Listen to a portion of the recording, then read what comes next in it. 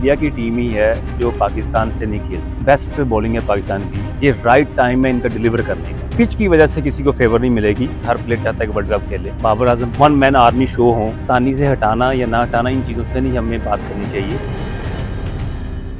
सारब गंगोली बड़े रिस्पेक्टिव हैं और हमारी बड़ी से दोस्ती भी है। हर बंदे की अपनी सोच होती है। और ये इंडिया की टीम ही है जो पाकिस्तान से नहीं खेलती। और आपको याद होगा 97 98 से इसलिए नहीं खेलती थी कि पाकिस्तान की टीम बहुत अच्छी है तो इंडिया की टीम अक्सर मैच हारती थी। तो अब सिचुएशन बदल गई है, अब हम 2023 में खड़े हुए हैं, हमारी सोच वही है। हमें अपनी सोच को बदलना चाहिए, टीम बड़ी छोटी कोई नहीं होती ऑन दी डे परफॉर्म करने की बात होती है। इंडिया की टीम नॉट आउट बड़ी अच्छी है और पाकिस्तान की टीम बहुत अच्छी है। इसको आप ये नहीं कह सकते कि पाकिस्तान की टीम बहुत वीक है। पूरे वर्ल्ड में देखें टीमें। अब इंग्लैंड और ऑस्ट्रेलिया के मैचेस हो रहे हैं तो आप क्या कह सकते हैं, कौन सी टीम अच्छी है? तो जो टीम अच्छी है, जो परफॉर्म करती है, जो टीम के लिए खेलती है वही जीतती है। तो पाकिस्तान, इंडिया के अब ये कहना कि इंडिया की टीम अच्छी है या पाकिस्तान की टीम वीक है या पाकिस्तान की टीम अच्छी है, इंडिया की टीम वीक है तो इन चीज़ों से निकल के हमें मैचेस खेलने चाहिए, हमें सीरीज़ खेलनी चाहिए। तो पता चल जाएगा कौन सी टीम अच्छी है।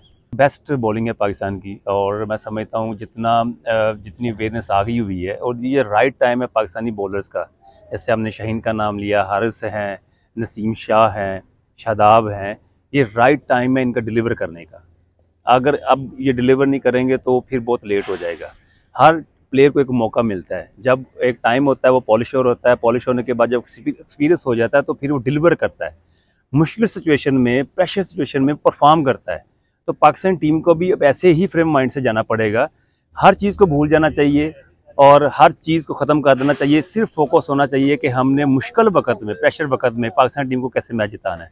तो इस पर फोकस होना चाहिए। बहुत सिंपल बात है। ये देखें वर्ल्ड कप जहाँ भी होता है, वहाँ पे पिचेस की रेनोवेट होती हैं पिचेस भी, मट्टी भी चेंज होती है।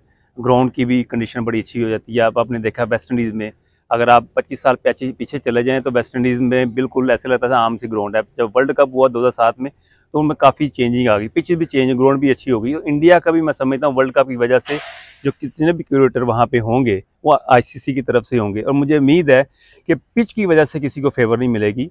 एक फेयर पिच होनी चाहिए फर्म पिच होनी चाहिए, उसमें बॉलर की एबिलिटी टेस्ट हो। तो वर्ल्ड कप का मतलब ये होता है कि आपके बॉलर टेस्ट हों।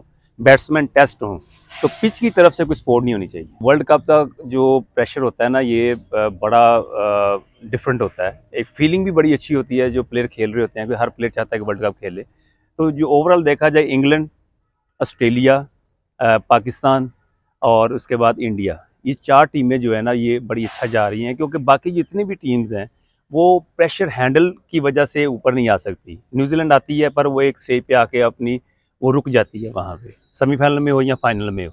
तो ये चार टीमें जो है ना काफ़ी इनमें अच्छा नज़र आ रहा है, प्लेयर भी अच्छे नज़र आ रहे हैं। बाबर आज़म पाकिस्तान की टीम के कैप्टन हैं और हमें उनको सपोर्ट करनी चाहिए। मैंने पहले भी बयान दिया था कि अब कप्तानी से हटाना या ना हटाना इन चीज़ों से नहीं हमें बात करनी चाहिए, हमें उसको सपोर्ट करनी चाहिए। उसको और अवेयरनेस देनी चाहिए कॉन्फिडेंस देना चाहिए कि वो और परफॉर्म करें। ऐसा परफॉर्म करें कि जैसे वन साइडेड मैच वो लेके चलें वन मैन आर्मी शो हों हर मैच वो जितवाने की कोशिश करें, हर मैच में बंदा परफॉर्म नहीं कर सकता। पर इंटेंट ये होनी चाहिए कि आपने पाकिस्तान को टीम को कैसे जिताना है। अगर फ़र्स्ट बैटिंग कर रहे हैं तो कितना टोटल सेट करना चाहिए? अगर सेकंड है तो उसकी सिचुएशन के मुताबिक खेलना चाहिए।